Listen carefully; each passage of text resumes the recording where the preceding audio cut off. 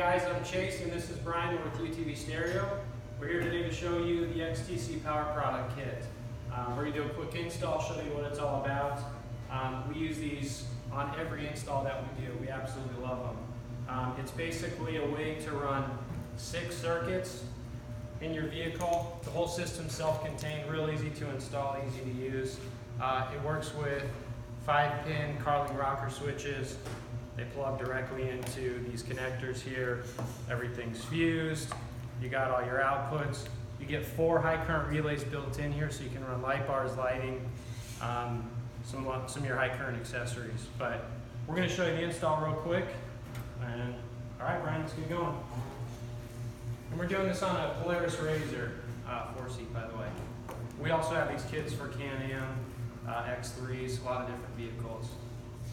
XTC Products has actually a ton of products across the board, from turn signal kits to, uh, they make these systems with strobe modules built in, makes your car go crazy, flash everything, it's pretty cool.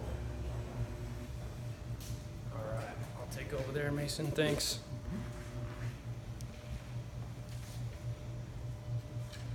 So this black box, we generally on the, the Polaris RZR, we mount it up to the steering column, like so.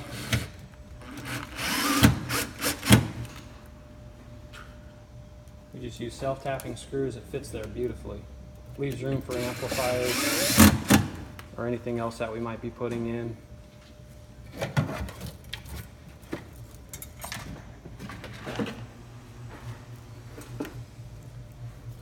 gonna go around to the other side here.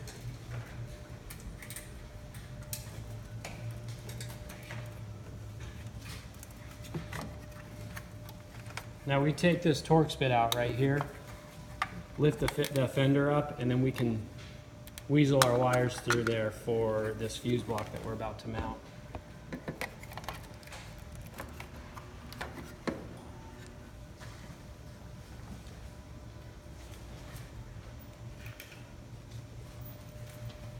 And while he's mounting that fuse block, here's the part number.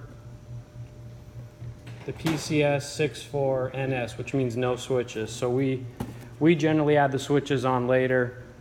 That way if you want red, blue, whatever color scheme you want to go with, whatever, whatever switch you're actually running, whatever picture you want on the rocker switch, you can add that at, at your preference.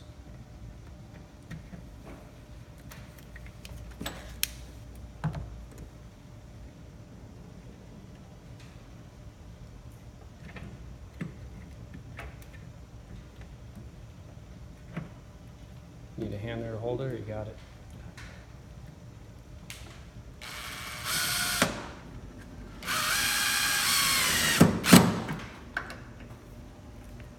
All right, and one screw's good for the video, Brian, if that helps. So we got the fuse block mounted. Now this power feed, you can see it right here. That we pre-installed, it actually runs all the way back to the battery. On this car is under the back seat. Let me show you real quick.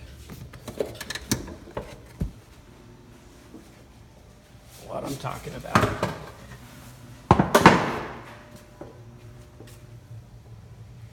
This right here, it's a built-in circuit breaker. It comes in with the kit. So we run our power right to the battery. Um, that power supply runs up through the console, and then you saw the other end back on the fuse block, block that Brian's working on. All right. Get that seat back on the wall.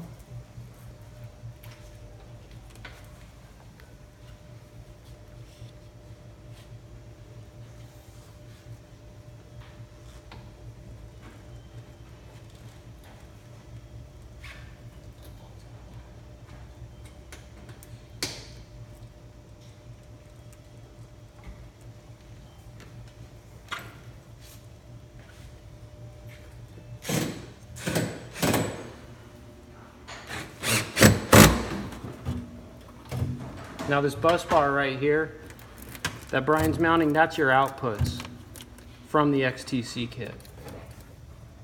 So basically the six switches You've got six terminals there, and that's going to be your positive feed for the outputs.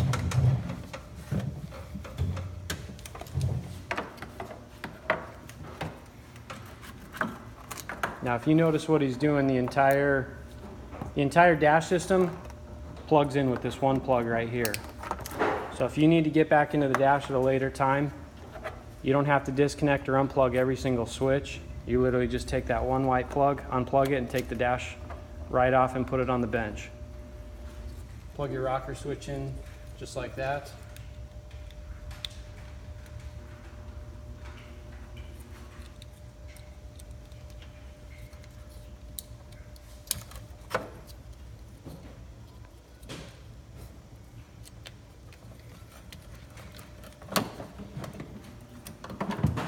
Now we've already gone through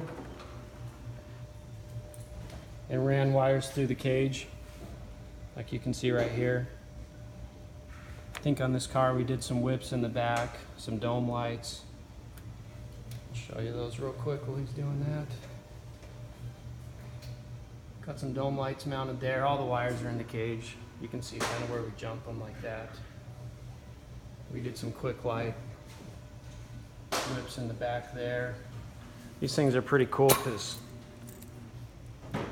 these are little shorty whips. Obviously, they have six and eight or four and six footers.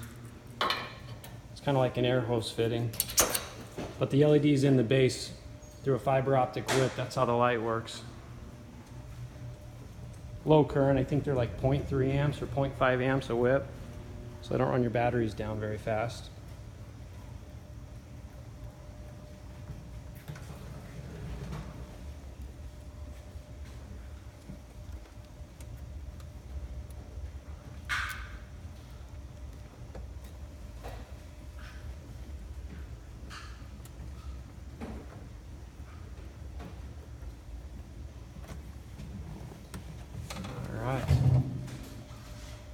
It's kind of hard to see with the camera here, but we added those extra wires, which those run right to our accessories through the cage. And not to rush you, Brian, but my phone's about to die. So hopefully we get this whole video. Now there's two feeds right here. One's, one's a black, one's a yellow. Those will light up your lower LEDs on the rocker switches. Black needs to get hooked to ground. Yellow's your accessory wire power when the key's on, which is going to light the lower LEDs on the switches when the key's on. The upper LED will light up when the, the switch is engaged and the circuit's live.